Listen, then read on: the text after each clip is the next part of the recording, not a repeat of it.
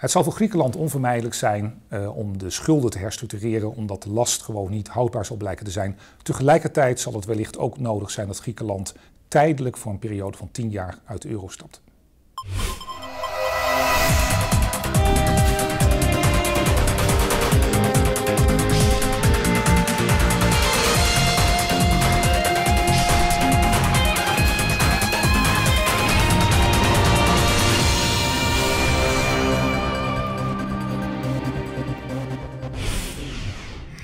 Natuurlijk is het zo dat in het geval van Griekenland, al, en als je de schulden gaat herstructureren, dat ook banken in Europa uh, verliezen zullen moeten nemen.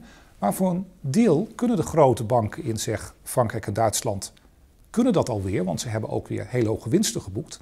En alleen voor het deel dat ze uh, daardoor, door het nemen van verliezen, onder de minimumkapitaalbuffers zouden komen, uh, zouden ze tijdelijk van een kapitaalsinjectie moeten worden voorzien, zoals we dat in Nederland ook met een aantal banken hebben gedaan. Maar dat kan natuurlijk dan het idee wel zijn dat het moet worden terugbetaald met een hogere, uh, met een hogere risicopremie aan de belastingbetaler. Het grote probleem nu voor politici in Europa is dat deze oplossing heel moeilijk is uit te leggen aan het electoraat. Want het zou betekenen dat er een, een tweede ronde van steun aan het bankenwezen zou uh, moeten komen.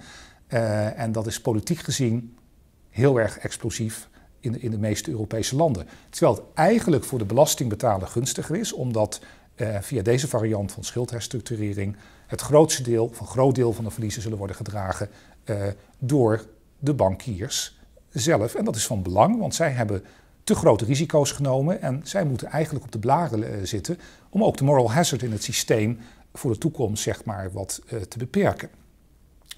Wat betekent dat nou voor Griekenland in termen van de euro? Uh, je ziet ook dat uh, langzaam maar zeker steeds meer wordt gesproken over een, uh, een exit of een tijdelijke exit van uh, Griekenland uit de euro.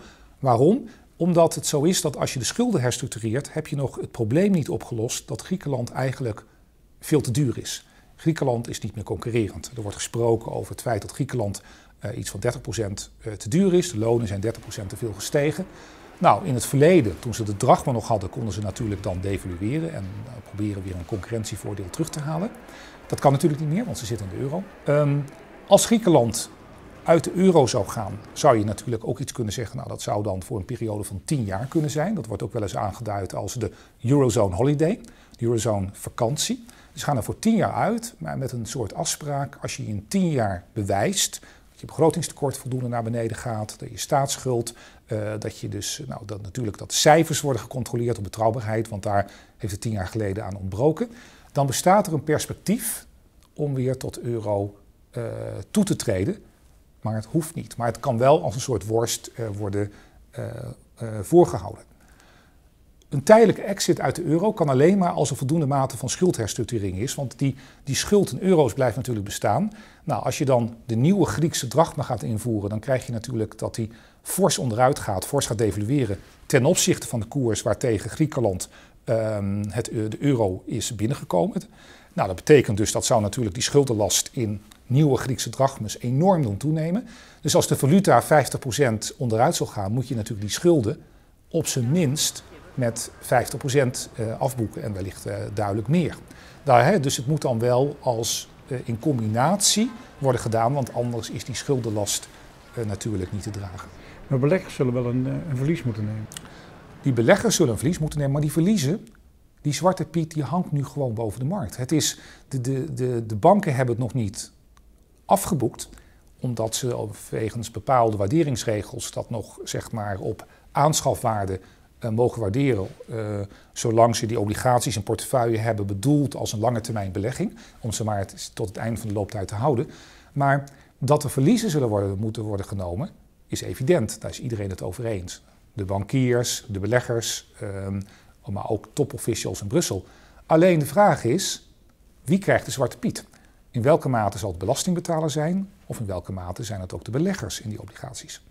Nou, iedere keer op het moment dat er dus vanuit Europa, ook in, het nieuwe voorstel wat door de Europese regeringsleiders weer besproken wordt uh, binnenkort, um, um, als een nieuwe steun wordt gegeven, dan betekent dus dat voor een deel Griekenland oude leningen aan zich banken en pensioenfondsen uh, aflost. Nou, die moeten worden geherfinancierd, want het land heeft dringend geld nodig.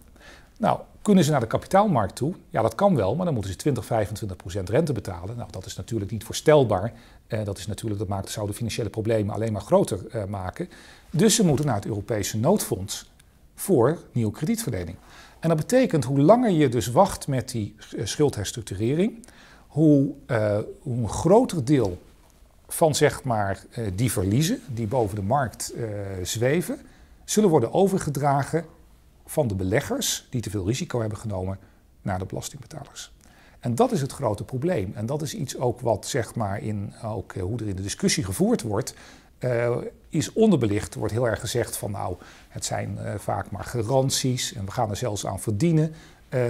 Maar de risico's zijn dus enorm. En dat ook dat Europees noodfonds en ook de Europese Centrale Bank, die fors heeft belegd in landen als Griekenland, dat daar verliezen uit zullen voortkomen, is natuurlijk gewoon heel waarschijnlijk.